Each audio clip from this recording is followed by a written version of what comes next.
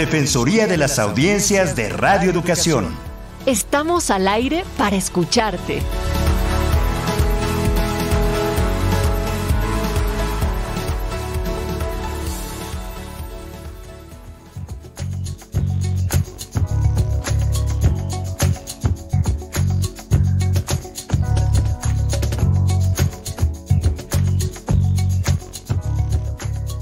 Tal? Mi nombre es José Ángel Domínguez. Me da mucho gusto darles la bienvenida a una emisión del programa de la Defensoría de las Audiencias de Radio Educación. Esta es una emisión previamente grabada que se transmite el 29 de septiembre de 2021 y me da muchísimo gusto saludar a la maestra Ana Cecilia Terrazas.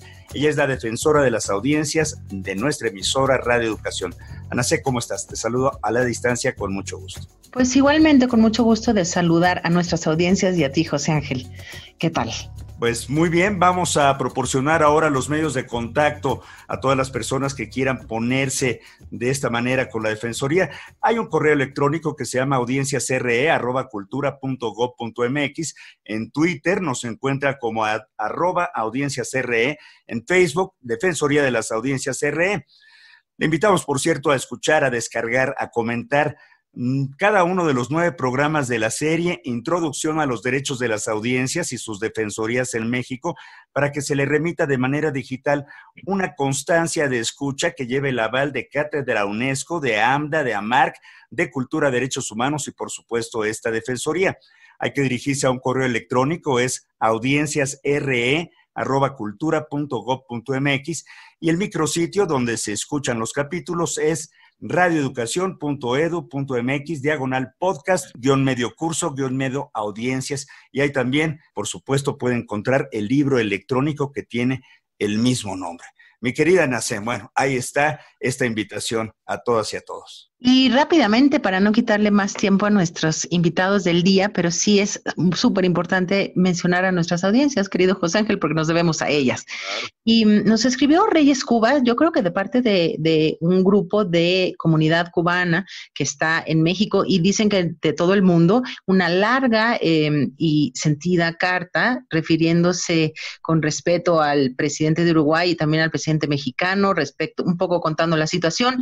Yo quiero aprovechar esa carta, porque además son dos, para invitar a todas nuestras audiencias a que también puedan leer lo que otras audiencias están escribiendo y cada eh, mes se suben los, Radio Educación pone los informes a disposición de todas sus audiencias, los informes de esta defensora, de esta defensoría, y se pueden leer, se pueden leer los comentarios. Entonces, hoy decía eh, una maestra en la radio que la, en la radio es un foro público, una plaza pública en donde se puede disentir y donde se puede discutir y conversar. Eso es parte también, la lectura y la escucha de otras voces es también parte de eso. Saludos a Andrea Gómez, que ya le vamos a mandar su constancia, justo una constancia como la que tú mencionaste. Y también, pues, por supuesto, a todas las gentes que nos dieron like por el Facebook. Pues qué interesante que esta reunión que recientemente tuvo lugar en México de la CELAC y que suscitó polémica entre los presidentes de distintos países latinoamericanos, bueno, tengas un cierto eco en la reflexión y en el repensarnos como América Latina, por supuesto. Y de esto trata lo que vamos a platicar el día de hoy. Me da muchísimo gusto saludar a nuestros invitados. Mario Mantilla, él es presidente de la Organización Interamericana de Defensorías y de Defensoras y Defensores de las Audiencias, la OID por sus siglas, y asimismo es defensor del televidente de Televisión Regional Oriente de Colombia, el canal TRO. Y hay que decir que él está en Colombia, ¿no? Laura Martínez, ella es integrante de la Junta Directiva de la OID, defensora de las audiencias del Instituto Mexicano de la Radio, nuestro querido y admirado IMER. Es un placer saludarte, Laura. Gracias por tu tiempo. Bienvenida. Hola, ¿qué tal José Ángel? Ana Cecilia, muchas gracias por la invitación y repetir aquí en Radio Educación ya casi después de un año prácticamente. Entonces, un saludo a todas las audiencias. Qué gusto. Nos encanta verte también. Gracias. Y está con nosotros Adriana Solórzano. Ella es cofundadora de la OID y directora de producción y planeación de Radio Educación. Y como siempre, me encanta saludarte y verte también, mi querida Adriana. ¿Cómo estás? Muy bien, y el encanto es mutuo. Qué gusto saludarte, José Ángel, Ana Cecilia, Laura, y qué gusto poder saludar a las audiencias de Radio Educación. Pues ANACE fue el sexto congreso de la Organización Interamericana de Defensoras y Defensores de las Audiencias en una fecha emblemática para México, ¿no? 15 y 16 de septiembre, ¿no? Sí, y creo que también es un producto que yo decía que en mucha medida hecho en México. Entonces, quería yo eh, hablar con una cofundadora, eh, en el muy buen sentido conspiradora para el, armazón de, la UID, qué es la OID, cómo funciona, para qué se hizo, por qué se juntó, desde cuándo, un poco que nos diera ese contexto Adriana Solorzano. Sí, muchas gracias, Ana. Eh, la OID es la Organización Interamericana de Defensoras y Defensores de las Audiencias, una organización que surge en 2014 después de un primer congreso regional que se tuvo el 16 de septiembre, bueno, el 15 y 16 de septiembre, un 16 de septiembre, se firma una carta de intención por parte de 18 personas, muchas de ellas vinculadas en ese momento a defensorías de las audiencias procedentes de varios países, de Argentina, de Colombia, de Brasil, de México, de Perú, de Chile, de Canadá.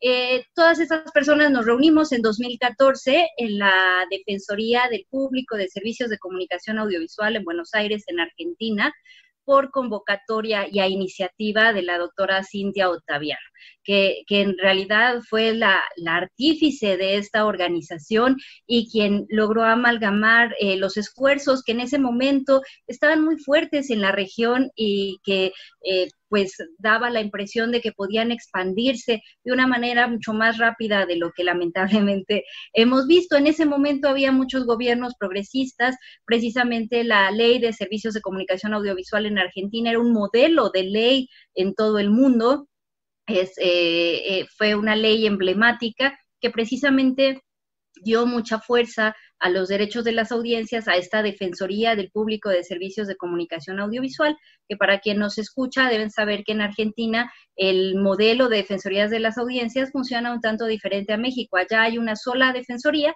que es esta la que eh, hemos estado aludiendo, eh, y opera para todas las concesiones de radio y televisión, pero también para todos los servicios de comunicación audiovisual. Es decir, es más amplia, tiene una estructura de funcionamiento y tiene otro tipo de, aparato que, digamos, eh, le, da soporte para su funcionamiento. En aquel 2014 acabábamos de estrenar la Ley Federal de Telecomunicaciones y Radiodifusión, ese año en México. Eh, legalmente eh, se habían reconocido los derechos de las audiencias un año antes en la reforma constitucional y las defensorías estaban instaurando oficialmente de la manera en la que las conocemos ahora. Fue un, contexto histórico importante porque en Uruguay se prevía una ley que también consideraba las defensorías, que finalmente se concretó.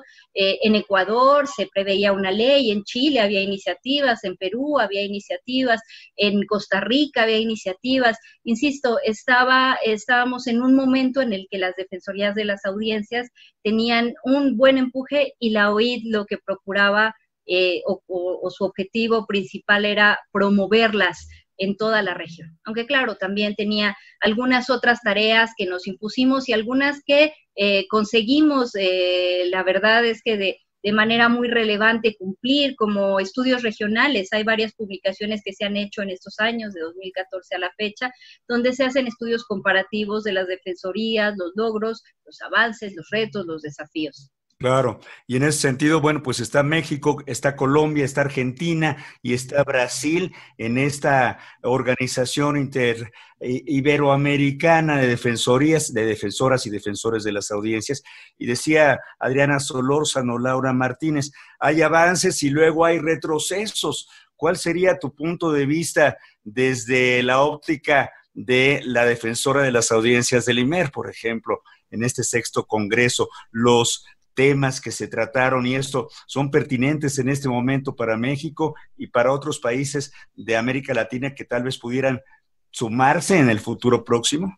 Pues son súper pertinentes, necesarios, importantes, actuales. José Ángel, Ana Cecilia, Mario y Adriana, que estamos aquí en la mesa, porque Además, eh, hay temas en donde, siguiendo eh, un poco el hilo de la, conversación de lo que decía la maestra Adriana Solórzano, el primer código de ética que en esta retomada que ha tenido la Defensoría del Público en la Argentina, que se trató de un trabajo colectivo, pese a que tienen como todo este modelo centralizado, pues de nuevo nos da la pauta de la discusión de la importancia de estos modelos de corregulación, ¿no? Eh, de la importancia que tiene la comunicación pública, temas que se trataron. Eh, también eh, el foco que hay que poner en lo que ocurre con las juventudes, con las audiencias jóvenes, por supuesto, porque en esto que tú preguntabas al inicio de eh, tu inquietud, José Ángel, que tiene que ver con cuáles son los retrocesos. Bueno, las juventudes justamente y la toma que han hecho de las calles, pero sobre todo pensándole en una resignificación del espacio público, con unas luchas de reivindicación étnicas, eh, de género, de diversidad sexual, ¿no? De derechos eh, políticos, de derechos laborales, pues están ahí, están conjugándose y están, digamos, muy dando eh, la pauta, pero también encarando a cuáles son las narrativas hegemónicas que hay en torno a la juventud en torno a niñas, niños y adolescentes en los medios de comunicación. Y ahí entonces nos damos cuenta que hay una realidad bastante eh, viva, pulsante y sobre todo que también se conjuga con otro tipo de retrocesos que podemos pensarlos en un ámbito un poco más institucionalizado, pero que no dejan de tener su eco y sus pautas también en la vida cotidiana. Y en esto lo podemos pensar también, eh, lo que hemos discutido en otras ocasiones, que se ha reflexionado, que eh, fue lo que ocurrió con la comunicación pública en Argentina durante el periodo de Macri, pero sobre todo, y lo que nos tiene ahora también en la preocupación y que forma parte de las interrogantes, las prerrogativas de la, de la UIT, que tiene que ver con lo que ocurre con Brasil. Entonces, ¿cómo desde 2016 eh, y el golpe que se da contra Gilma Josefi, hay un atentado contra la comunicación pública eh, con Michel Temer cuando desintegra un consejo curador, cuando eh, le quita una capacidad de autonomía e independencia a la huiduría, que sería la defensoría de allá, y cómo hemos visto desde la campaña de 2018 del señor Jair Bolsonaro y sobre todo en su administración de este periodo que lleva, dos años, ocho, nueve meses, en donde constantemente ha buscado la privatización o la extinción de la empresa Brasil de Comunicación. Entonces ahí vemos que estos intentos de convertir a la comunicación pública en una suerte de instrumento propagandístico de la comunicación gubernamental que además para el contexto brasileño es contradictorio con lo que dice con su constitución.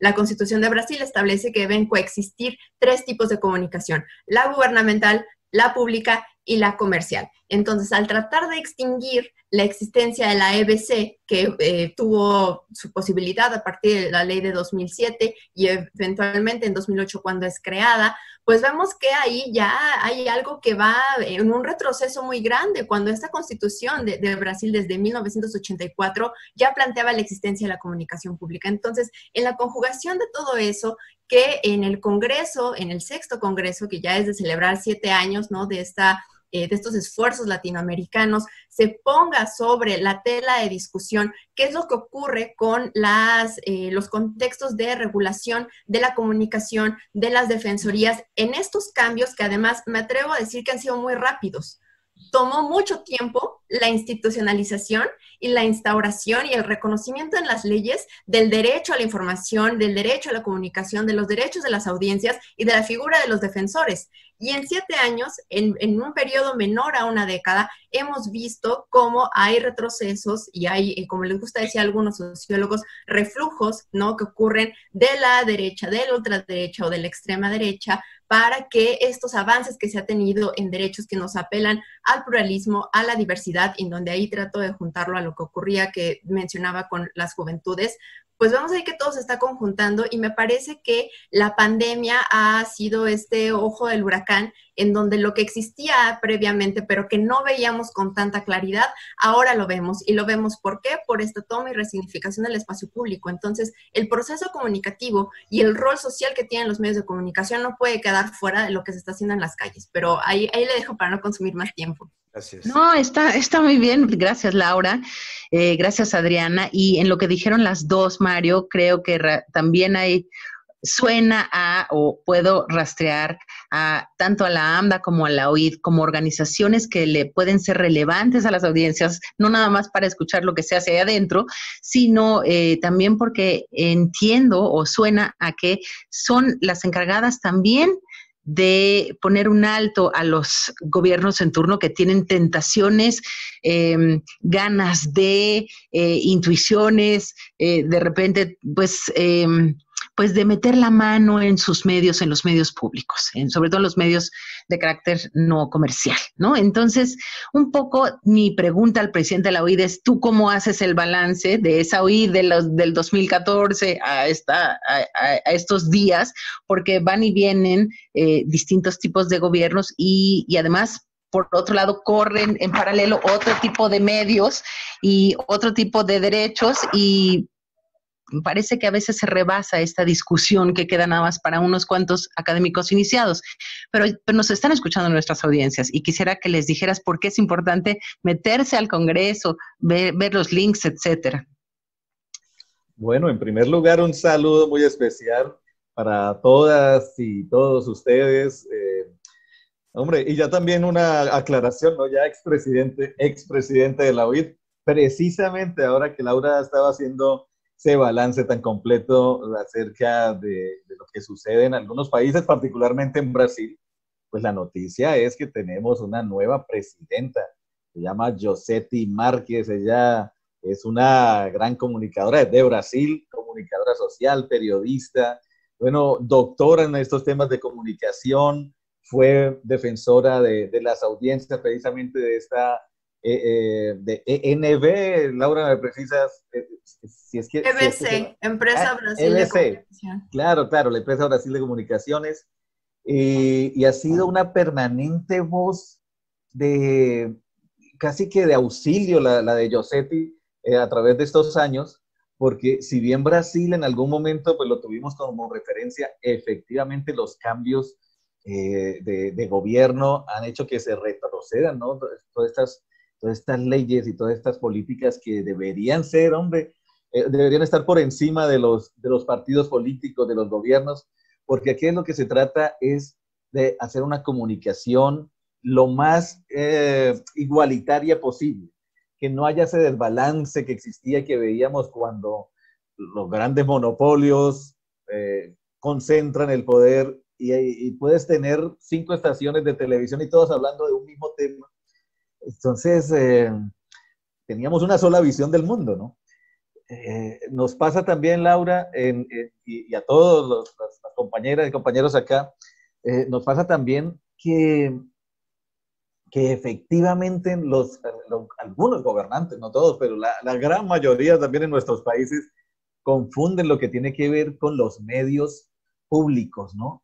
No son, no son organismos de difusión de, sus, sus, gobiernos.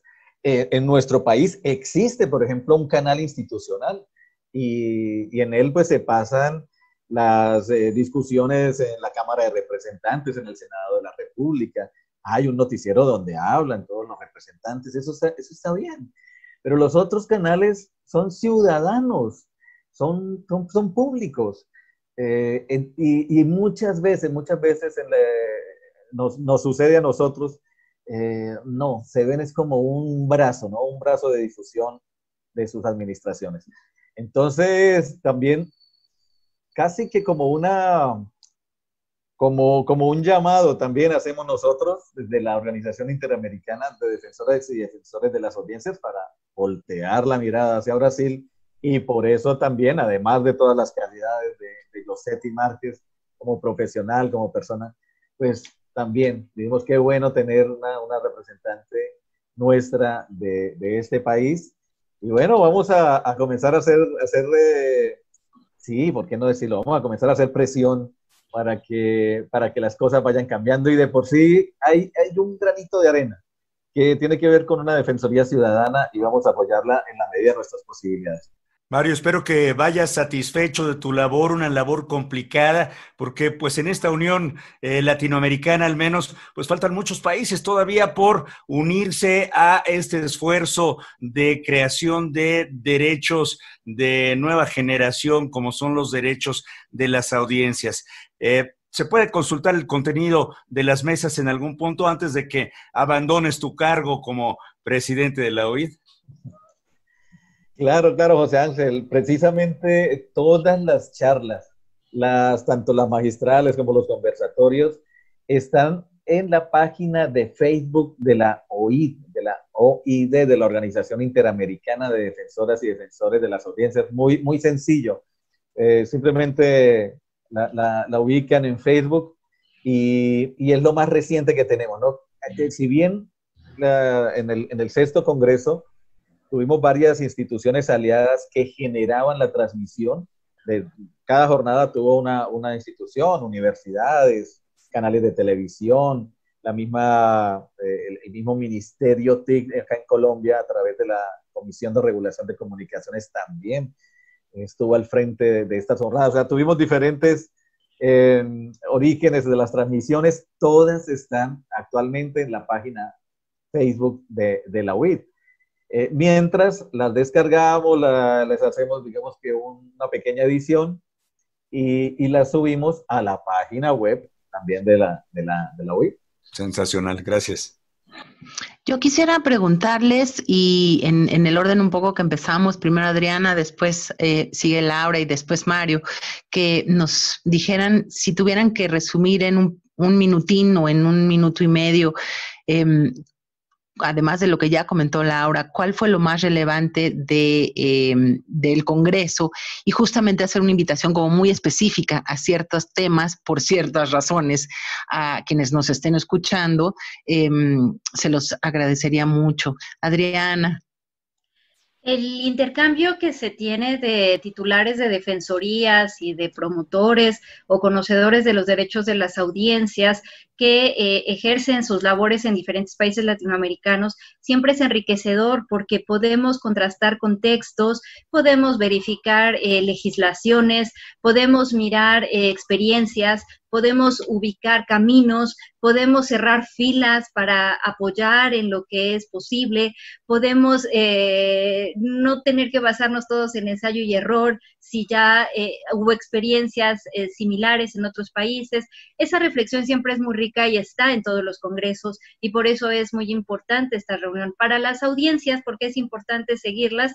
Pues porque pueden asomarse a una ventanita de, de problemas que parecen distantes o ajenos, pero que no lo son. Eh, de alguna manera, por ejemplo, se analizaron los movimientos sociales en Colombia, precisamente desde la perspectiva de los derechos de las juventudes, expresarse, eh, y podría parecer que, eso es algo muy eh, particular de Colombia, pero al final en todos nuestros países tenemos disidencia y tenemos eh, necesidad de expresarnos y de que se garantice ese derecho a la expresión y que se garantice la, la, integridad, por ejemplo.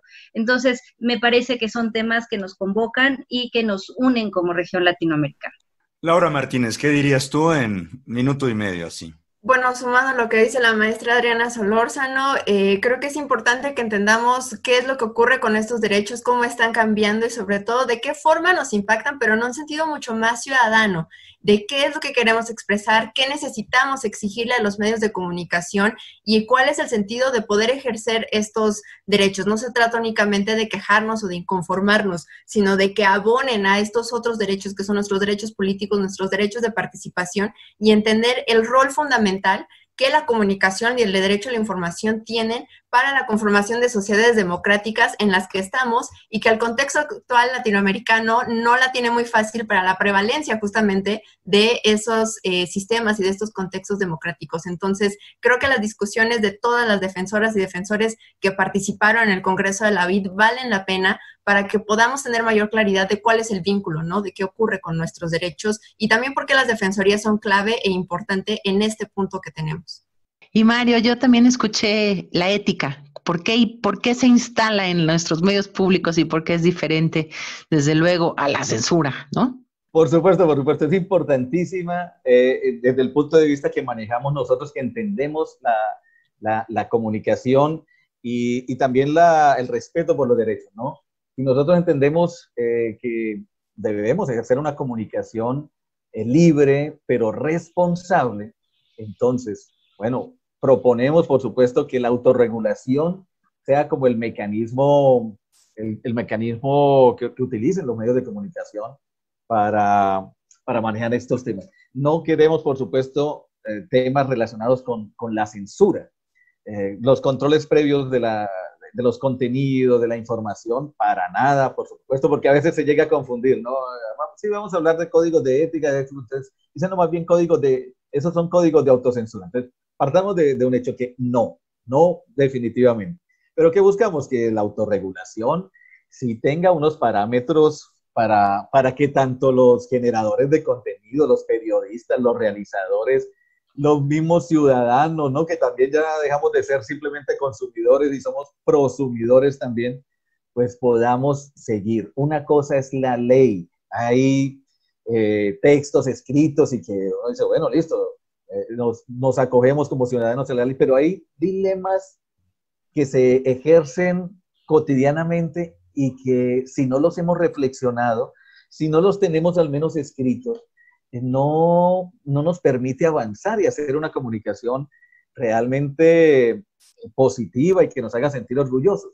Entonces, la ética fue, es, es, fundamental, el tener código de ética, el que nosotros reflexionemos acerca de, de, ello, desde el interior, por supuesto, de los medios de comunicación también.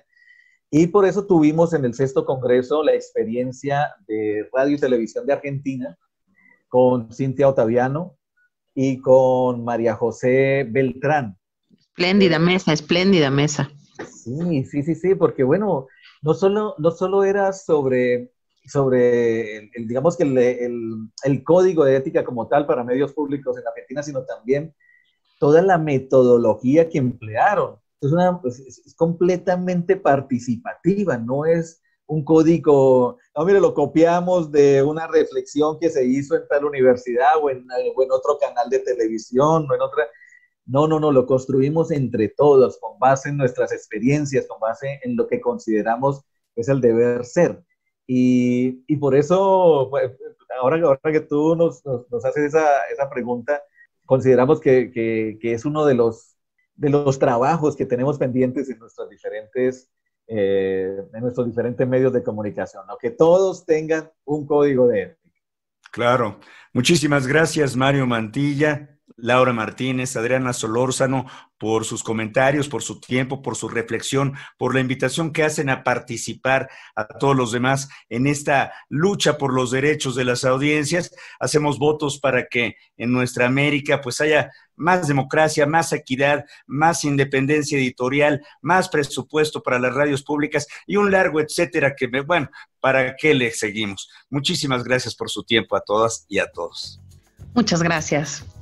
Muchas gracias a todos ustedes. Gracias Un abrazo. Les agradecemos el favor de su atención, los invitamos a que se queden en Radio Educación y a que sintonicen la próxima emisión de La Defensoría de las Audiencias, miércoles a las 17 horas. Hasta entonces.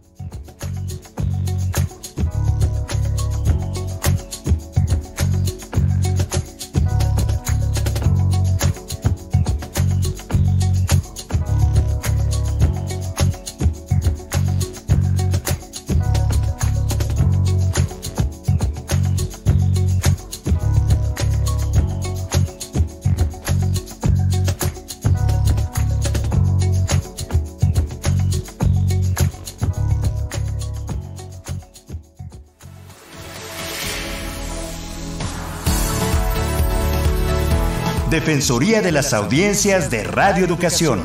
Estamos al aire para escucharte.